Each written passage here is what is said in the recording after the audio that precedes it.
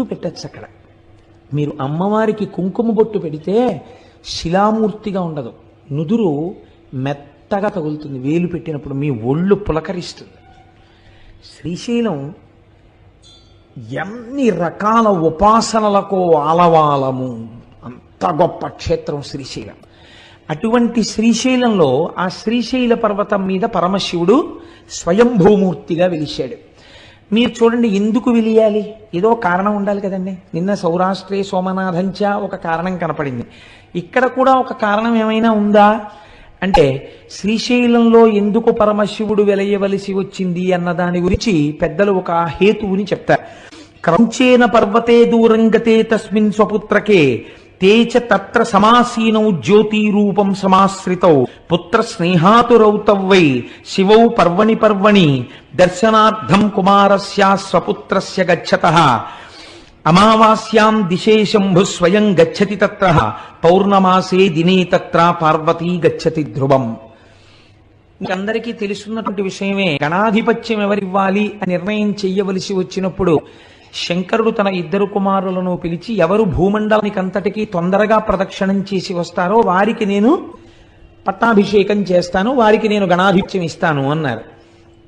అంటే గబగబా బయలుదేరాడు సుబ్రహ్మణ్యేశ్వర స్వామి. వారిది నెమలి వాహనం. కాబట్టి గబగబా వెళ్ళి భూమండలంలో ఉన్న దేవాలయాలన్నిటినీ దర్శనం చేసుకుంటూ వస్తున్నాడు. ప్రదక్షిణం అంటే అది. బాగా గుర్తుపెట్టుకోండి. సాధారణంగా మనం ఈ కథని కథగా చెప్పేస్తాం. ఆయన ఏమన్నాడు పరమశివుడు? ప్రదక్షిణం చేసి రమ్మన్నాడు. ప్రదక్షిణం చేసి రమ్మంటే గుళ్ళల్లోకి ఎందుకంటే సుబ్రహ్మణ్యేశ్వర స్వామి వారు. గిరగిరా తిరిగేసి వచ్చేయకూడదు ఏంటి ఓ విమానం తిరిగేసినట్టు ఏరియల్ వ్యూ అంటాం కదా మనం. అలా నెమలి వాహనం ఇక్క అలా తిరిగిలా వచ్చేస్తే. బాగుంటుంది కదా? ప్రతి గుళ్ళోకి వెళ్ళాడు ఆయన. ప్రతి గుళ్ళోకి వెడితే ఆయనకి ఏం కనపడేదంటే ఈ గుళ్ళోకి వెళ్ళేటప్పటికి విఘ్నేశ్వరుడు బయటికి వెడుతున్నట్టు కనపడేది. అయ్యో అన్న ఇదేంట్రా? నాకన్నా ముందే బయటికి వెళ్ళిపోతున్నాడు. ఎలా వెళ్ళిపోతున్నాడు రా అనుకునేవాడు ఆయన. ప్రతి గుళ్ళోనూ ఈయన వెళ్ళడం ఆయన బయటికి వెళ్ళడం. అదేంటి? ఎందుకు అసలు సుబ్రహ్మణ్యుడు గుళ్ళల్లోకి తిరగడం ఆయన చెప్పాడా పరమశివుడు నువ్వు గుళ్ళల్లోకి వెళ్ళిరా భ- భూమండలం మీద ఉన్న గుళ్ళన్నీ చూసిరా అని చెప్పాడా? ప్రదక్షిణం చేసిరా అని చెప్పాడా? ప్రదక్షిణం చేసిరా అని చెప్పాడు. ప్రదక్షిణం చేసిరా అంటే గుళ్ళల్లోకి ఎందుకండి వెళ్ళడం? అదే ప్రదక్షిణం అంటే. ప్రదక్షిణం అంటే ఏమిటో తెలుసా అండి? దేవాలయంలో ప్రదక్షిణం చేసేటప్పుడు లోపల ఉన్న మూర్తి మిమ్మల్ని పరిశీలన చేస్తాడు. నన్ను నమ్ముకున్నటువంటి మహాత్తులందరూ నా దేవాలయంలో కొలువుతీ ఉన్నారు.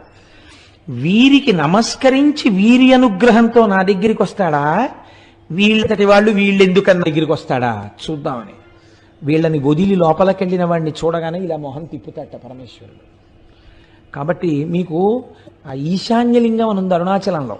అరుణాచలంలో ఈశాన్యలింగం దగ్గర నందీశ్వరుడు ఇలా ఉండడు. ఇలా ఉంటాడు. మొన్న మేము వెళ్ళినప్పుడు ఆయన ఎందుకు అలా మొహం పక్కకి తిప్పుకొని ఉన్నాడు అని అడిగితే ఆయన తమిళంలో చెప్తే ఏదో వచ్చిన వాళ్ళు ఎవరో దాన్ని తర్జుమా చేశారు. ఒక మహాభక్తుడు ఒక ఆయన కొంతమంది భక్తులు పల్లెటూరు నుంచి వచ్చారు కానీ వాళ్ళు భక్ పరమ భక్తులు వాళ్ళు వచ్చి దర్శనం చేసుకుందాం అంటే ఈ నంది అడ్డొచ్చింది అడ్డొస్తే వాళ్ళు శివుడికి చెప్పారు. ఈశ్వర నీ దర్శనం చేసుకుందాం అంటే ఈ నంది అడ్డొస్తోందని ఆయన అన్నాడు నా భక్తులకు కనపడే వరకు కాసేపు మొహం అలా పక్కకి తిప్పన్నాడు. అందుకని ఇలా పెట్టాడు ఆయన. మళ్ళీ నువ్వు ఇటు తిప్పచ్చు అనలేదు ఏమో ఇలాంటి వాళ్ళు ఇంకా వస్తారేమో అలా ఉండు కాసేపు అన్నట్టే లెక్క. అందులో అలాగే ఉన్నాడు ఈశాన్యలింగం. కాబట్టి చూడండి భక్ భక్తుల పట్ల ఆయన ఎంత ప్రీతి వహించి ఉంటాడో చూడండి. లోపల భక్తి ఉంటే ఆయన దాన్ని గమనిస్తాడు. ప్రదక్షిణం అంటే దేవాలయాలలోకి వెళ్ళి చేసినది ప్రదక్షిణం. అరుణాచల శైలమునకైనా సరే. అరుణగిరి ప్రదక్షిణం చేసేప్పుడు దేవాలయాల్ని విడిచిపెట్టి మీరు కొండ చుట్టూ తిరిగితే అది ప్రదక్షిణం అవుతుందని నేను అనుకోవట్లేదు. ఎందుకంటే అలా శాస్త్రం మాట్లాడలేదు కనుక. లేకపోతే తలుపులు తీసి అర్ధరాత్రి వేళ కూడా లింగ దర్శనం అయ్యేటట్టుగా శ్రీ అరుణాచలంలో ఎందుకు ఉంచుతున్నారు? మీరు వెళ్ళితేనే ప్రదక్షిణం పూర్తవుతుందని. మీరు వదిలిపెడితే ప్రదక్షిణ ఎలా అయింది మీరు దేవాలయ సహితంగా చేసిందే ప్రదక్షిణం. మీరు లోపల తిరిగినప్పుడు కూడా ఆళ్వారులు ఉంటారు విష్ణువాలయం అయితే నాయనారులు ఉంటారు శివాలయం అయితే మీరు ప్రదక్షిణ పురస్సరంగా వెళ్ళాలి. చాలామంది ప్రధాన దేవత దగ్గరికి వెళ్ళి వస్తారు దానివల్ల ఈశ్వర అనుగ్రహం కలుగుతుందని నేను అనుకోవట్లేదు. మీకు భూమండల ప్రదక్షిణంలో విఘ్నేశ్వరుడు చేసిన ప్రదక్షిణమే దానికి ప్రమాణం. ఇంతలోకి ఆయన పాపం పోన్లే అన్నయ్య కన్నా ముందుకెడతానేమో అని పరిగెత్తాడు పరిగెత్తాడు పరిగెత్తాడు కైలాసం దగ్గరికి వచ్చాడు. ఈయన ఏం చేశాడు? గణపతి నిజంగా వెళ్ళారు ఆయన ఆయన సూక్ష్మంలో మోక్షం అంటారు చూసారా అటువంటిది ఒకటి చేశాడు. అన్ని వేళలా చెయ్యకూడదు. ఎప్పుడు నిజంగా మీరు చేయలేరో అప్పుడు చెయ్యాలి దాన్ని. శ్రీరామ రామ రామేతి రమే రామే మనోరమే సహస్రనామ తత్తుల్యం రామనామవరాననే నిజమే. శ్రీరామ శ్రీరామ శ్రీరామ అంటే విష్ణు సహస్రం చెప్పినట్టు. అందుకని పూజంతా మానేసి మూడు మాటలని వెళ్ళిపోతానంటే కుదరదు. నిజంగా మీకు అంత టైం లేని పరిస్థితి వచ్చినప్పుడు శ్రీరామ శ్రీరామ శ్రీరామనమని. పాపం వాహనము లేదు స్థూలకాయం ఎలక వాహనం నేను తిరగలేనేమో అనుకుని అన్ని విధాలా బేరీజు వేసుకున్నప్పుడు ఆయన ఏం చేశాడంటే నాన్నగారు తల్లిదండ్రులకు చేసినటువంటి ప్రదక్షిణం భూమండలానికి చేసిన ప్రదక్షిణంతో సమానం. కాబట్టి నేను మీకే ప్రదక్షిణం చేసి మీకే నమస్కరిస్తున్నాను. అశక్తుడను కనుక. ఈయన అశక్తుడే. అలా సుబ్రహ్మణ్యుడితో సమానంగా వెళ్ళడానికి ఎవరు అంగీకరించాలి? సర్వజ్ఞుడైన శంకరుడు అంగీకరించాలి. ఈ బుద్ధిశలత ప్రదర్శించాడు గణాధిపత్యం ఇచ్చారు. చిన్నపిల్లలకి మొంకుతనం ఉంటుంది. కదండి? అందులో నువ్వు ఓడిపోయావురా అన్నారు అనుకోండి చాలా బాధగా ఉంటుంది. అంతవరకు ఎందుకంటే ఓ బస్సులో ఆడపిల్లలు మగపిల్లలు కలిసి వెళ్తే అంత్యాక్షరి పెట్టి గెలిచారని మగపిల్లలకి ప్రైజ్ వస్తే పెద్ద అలరైపోతుంది ఆడపిల్లలకి ఇస్తే మగపిల్లలందరూ మొహాలు ముడిచేసుకున్నారు. మేము వెళ్ళినప్పుడు అంటే అదో ముచ్చట అనుకోండి ఎందుచేత అంటే ఓడిపోయావు అనేటప్పటికీ అది జీర్ణం కాదు. ఆ మాట వాళ్ళు అంగీకరించలేరు అందుకే మనం ఇంగ్లీష్లో దానికి ఒక చమత్కారం మన రన్నర్స్ అప్ అని పెట్టారు ఏమిటో. ఓడిపోయిన వారు అని అనకుండా. ఇదేంటి? వీరిని గెలిచిన వారు వారు వారిని గెలిపించిన వారు వీరు అని ప్రైజ్ ఇచ్చారనుకోండి బహుశా సంతోషిస్తారేమో. కాబట్టి. కానీ ఇప్పుడు సుబ్రహ్మణ్యుడు ఓడిపోయాడు పెద్ద ఆయన గెలిచాడు అందుకని వాడికి నేను పట్టాభిషేకం చేస్తున్నాను రా అన్నారు. అంటే అది అంగీకరించలేని అజ్ఞాని సుబ్రహ్మణ్యుడు కాడు. కానీ నాన్నగారు ఎలా ఈ ధర్మ సూక్ష్మం ఒకటి ఉంది శాస్త్రంలో అని చెప్పేసి అంగీకరించేసి అన్నయ్యకి చేసేశారు. అన్నయ్యకి చేసేశారని ఆయన బాధ కాదండి అన్నయ్యకి చేసేశారని బాధ అయితే రావణాసురుడు కుబేరుడు మీద యుద్ధానికి వెళ్ళినట్టు యుద్ధానికి వెళ్ళాలి. ఆయనకి అది కాదు బాధ. ఓటమి వలన కలిగినటువంటి చిన్ని అక్కసు. చంటి పిల్లాడు కదండి సుబ్రహ్మణ్యుడు అంటే ఆ మాత్రం లేకపోతే అందమే ఉంటుందండి పిల్లల దగ్గర. డెబ్బై ఏళ్ళు వచ్చినా పిల్లాడు అమ్మ దగ్గరికి వెళ్ళినప్పుడు అమ్మే నాన్నగారి దగ్గరికి వెళ్ళినప్పుడు నాన్నగారే పిల్లలు తల్లిదండ్రుల దగ్గర అలాగే ఉంటారు. అందుకని చిన్న కోపం వచ్చింది. కోపం వచ్చి నేను వెళ్ళిపోతున్నానని వెళ్ళిపోయాడు. ఎక్కడికి వెళ్ళిపోయాడు? ఎక్కడికి వెళ్ళిపోయినా తెలుస్తుంది. వాళ్ళకి తెలియదు ఏంటి పార్వతీ పరమేశ్వర్ల. కనుక చూశారు ఎక్కడికి వెళ్ళాడు వీడని. ఇంట్లో ఫంక్షన్ అయిపోయింది పట్టాభిషేకం. ఓసారి వీడి దగ్గరికి వెడదాం రమ్మని కబురు చేశారు. రే నాన్న వచ్చి అదేమిట్రా?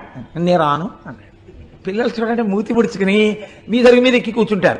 నేను రా ఇంట్లోకి అంటారు. తండ్రి రెండు రెక్కలు ఎత్తి తీసుకొచ్చేయగలడు ఇంట్లోకి కానీ అలా తీసుకురాడు. వెళ్ళి చాలా బతిమాలుతాడు. అందులో ఏముంది? తండ్రి ఓటం ఉందా? తండ్రితనం ఉంది. తల్లితనం ఉంది. కదండి?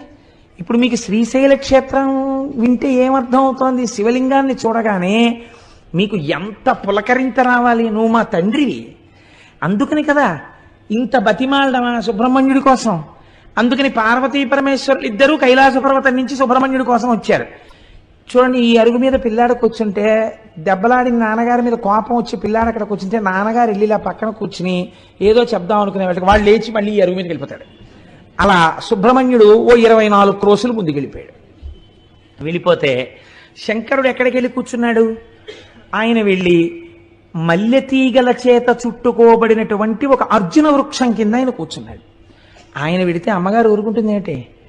ఆవిడ మహాపతివ్రత. ఆవిడ కూడా గబగబా వెళ్ళింది పక్కకి. వెళ్ళి ఆవిడ కూర్చుంది. ఏమిటండి వీడు మంకుతనం? మీ అంతటా ఆయన అసలు ఏం బొత్తిగా బుద్ధి లేదేం? చిన్నవారా చితకవారా? ఏమిటి మీ పెద్దరికని తెలుసుకోకుండా? ఇప్పుడు మీరే బతిమాలు వస్తే వాడు వెళ్ళిపోవడం ఏమిటి? అంది. పోన్లేదు పిల్లాడు అన్నారు. అని మొట్టమొదట అమావాస్య రాగానే చీకటి కదా కొత్త ప్రదేశం కదా ఒక్కడు ఎలా ఉన్నాడో ఏమిటో అని ముందు శంకరుడు వెళ్ళాడు. వెళ్ళి అయిపోయింది. అప్పటికి ఆలక తీరిపోయింది.